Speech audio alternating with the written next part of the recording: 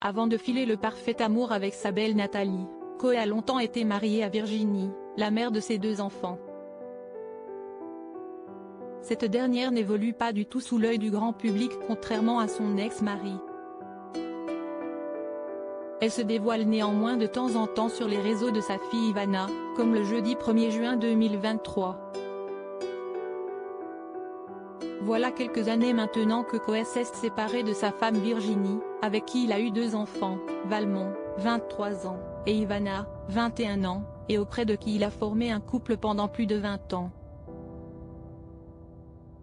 Si ce n'est pour annoncer la nouvelle de leur rupture, le célèbre animateur radio a toujours fait preuve d'une grande discrétion quant à sa relation avec Virginie.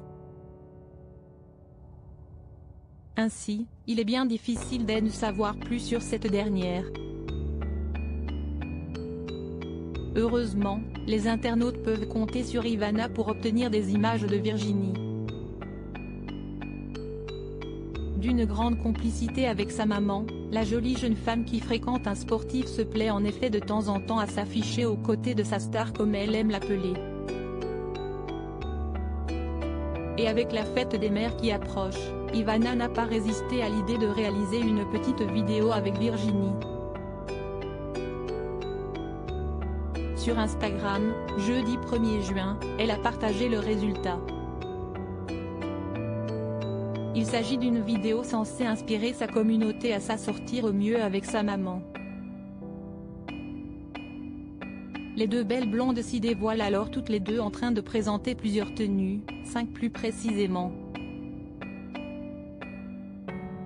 en denim, radieuse en portant des couleurs bleues et blanches, dans une robe rouge ou en total look noir. Il y en a pour tous les goûts. Les internautes étaient ravis de voir mère et fille se prêter à ce jeu avec le sourire et prouver qu'elle avait une relation fusionnelle.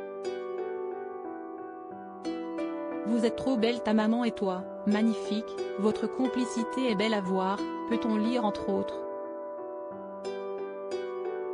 Rappelons que Virginie et Coé ont entamé des procédures de divorce en 2019. L'animateur de 49 ans avait avoué à l'époque, lors d'une interview pour Télé Loisirs, que le tribunal était pour lui le pire endroit sur Terre et en avait été très marqué. Avec son ex-femme, l'entente est heureusement toujours au beau fixe. On sera toujours là ensemble pour nos enfants quand il le faut, avait-il assuré à nos confrères.